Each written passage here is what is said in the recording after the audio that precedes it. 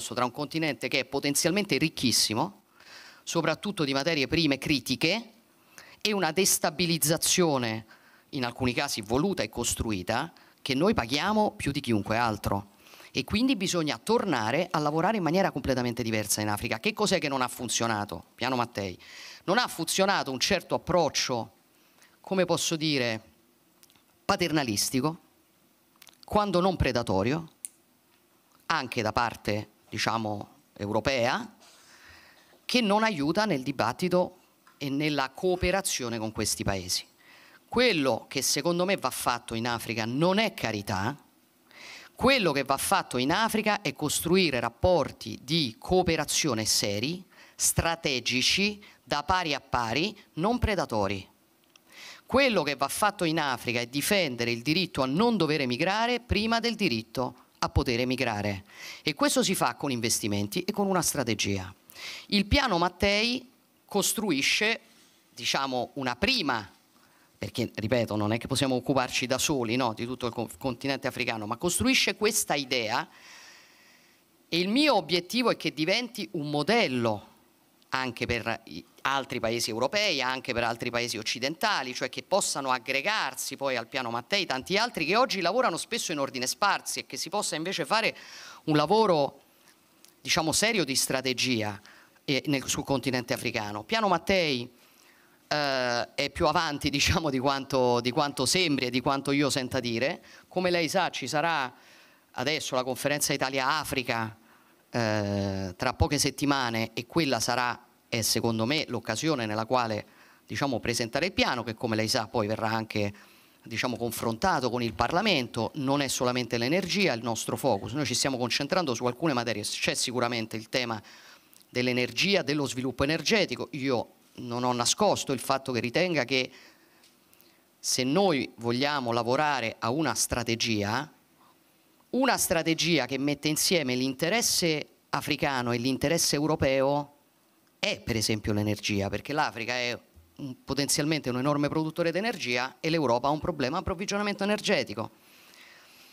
E si può lavorare con investimenti sulla produzione soprattutto di energia pulita in Africa, che porta lavoro, porta sviluppo e risolve a noi anche no? dei problemi, lega il nostro interesse eh, reciproco ma noi lavoriamo anche sulla formazione. Il lavoro che per esempio hanno fatto e fanno in Africa diverse scuole italiane, io l'ho trovato straordinario quando sono stata a Addis Abeba, credo che una delle emozioni più belle che sono che ricordo dell'ultimo anno è la scuola italiana di Addis Abeba.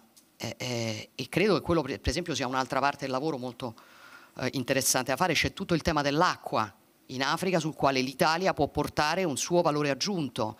Quindi stiamo lavorando su diversi filoni, credo che vadano circoscritti, no? Cioè credo che un errore che noi abbiamo fatto delle volte in passato è stato forse distribuire troppo anche le risorse magari in progetti più piccoli piuttosto che concentrarci su alcune grandi priorità. Il lavoro che voglio fare io con il piano Matteo, Mattei è scegliere quelle priorità immaginare dei primi paesi partner con i quali mettere a terra questi progetti e utilizzare la stesura di questo primo diciamo, piano, di questo primo embrione per poi moltiplicare queste iniziative anche con l'aiuto degli investitori privati, anche con l'aiuto, si spera, di altri paesi che vogliono condividere questa strategia con noi. No, no ci sono i progetti specifici, ma io non li voglio raccontare prima, prima di di farlo diciamo di presentarlo ufficialmente, Grazie. certo ci sono i progetti specifici. Grazie. Posso, posso, una, posso, chiedere ai colleghi di fare una sola domanda per cortesia, ma per rispetto di chi ha il quarantesimo al quarantacinquesimo posto, non per altro. Grazie. Mi ha tolto mm. l'osservazione di bocca. Grazie eh, Francesco Maesano, TG1. Sì, buongiorno, buongiorno Presidente. Eh, a proposito del DDL concorrenza, eh, il Presidente della Repubblica ha eh, definito la proroga delle concessioni per il eh, commercio ambulante eccessiva e eh, sproporzionata, eh, ritenendo indispensabile a breve, cito, ulteriori iniziative di Governo e Parlamento ed è tornato anche sui rilievi analoghi sollevati a proposito della questione eh, dei balneari. Ecco, io le volevo chiedere se e come intendete intervenire sia sulla questione eh, dei balneari che su quella degli ambulanti. Grazie. Grazie a lei. Ah, dunque, guardi, ovviamente io ho letto con grande attenzione la lettera del Presidente Mattarella per quello che riguarda eh, diciamo, il tema del rinnovo delle concessioni ambulanti. L'intervento eh, sostanzialmente si è reso necessario per, eh, eh diciamo così, per sanare, per, per uniformare il trattamento che alcuni eh, beneficiari avevano avuto con il rinnovo di 12 anni che era stato disposto eh, nel 2020 con quello che invece riguarda altri che soprattutto diciamo, per una difficoltà eh, dei comuni non ne avevano potuto beneficiare creando di fatto una disparità tra comune e comune e tra operatore e operatore in un contesto nel quale bisogna anche ricordare che per una serie di ragioni diciamo, queste aziende vanno diminuendo e quindi gli spazi disponibili aumentano.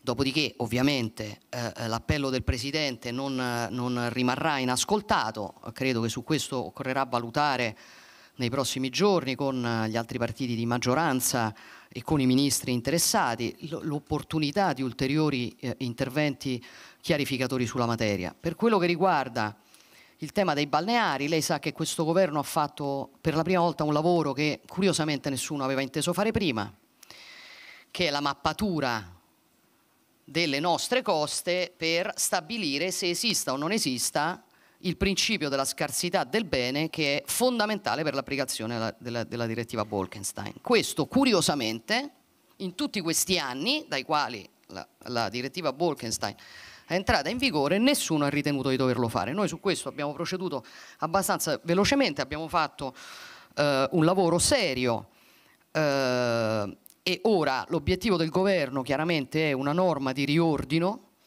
che ci consenta eh, intanto di mettere ordine alla giungla no, di, poi, di interventi, pronunciamenti che si sono susseguiti, che necessita ovviamente di un confronto con la Commissione europeo, europea, per arrivare al duplice obiettivo, da una parte di scongiurare la procedura di infrazione e dall'altra di dare certezza agli operatori che è sempre stata una delle nostre priorità. E quindi questo adesso è il lavoro che noi stiamo facendo e che eh, eh, riteniamo sia a questo punto diventato molto importante perché c'è obiettivamente una difficoltà sia per gli operatori che non hanno certezza sul loro futuro sia anche per gli enti che devono poi applicare delle norme che non sono chiare a partire dai comuni che hanno oggettivamente delle difficoltà che ci segnalano continuamente, quindi è oggetto del lavoro delle prossime settimane.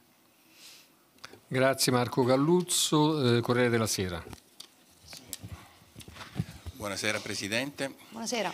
Volevo chiederle una cosa che, di cui in Italia si discute da, da tanti anni ma che poi passano i governi e rimane soltanto nelle cifre delle analisi di istituti internazionali. Da, da pochi giorni l'Italia presede il G7 e per curiosità, pensando alla domanda che dovevo fare, sono andato a vedere la classifica della Banca Mondiale sul doing business, Su? sulla capacità di attrattività degli investimenti, dove noi perdiamo mm, punti ad ogni legislatura. E siamo 58esimi in questo momento e i paesi del G7 eh, che con, con, noi fanno parte del G7 ci, purtroppo ci precedono quasi tutti. La Francia che è la penultima è al 32 posto. Ora lei non c'entra niente, mi dirà come ha spesso detto in queste occasioni, visto che governo da solo un anno. Però le volevo chiedere, visto che insomma, ci sono mh, queste classifiche valgono quello che valgono, ah, sono, ben, sono, molto importanti, però insomma, sono anche relative. Però per esempio mi ha colpito un dato addirittura noi siamo al 120 posto per la capacità di rispettare e di far attuare i contratti pubblici e privati su 190 paesi. Ora, il centrodestra da 20 anni, da 30 anni dice che vuole liberalizzare, aprire, togliere laccioli, sburocratizzare. C'è un provvedimento del suo governo di oggi già fatto o del futuro che secondo lei dovrebbe occuparsi di questa materia? Una piccola postilla, è stato fatto un calcolo negli ultimi 15 anni o 18 anni se l'Italia avesse avuto un livello di investimenti esteri pari a quello della media europea avrebbe incassato più di 500 miliardi, quindi 20-30 miliardi l'anno, che per un paese che non ha i soldi per quasi nulla non sarebbe stato male E postilla nella postilla, Intel non è un'altra domanda. Intel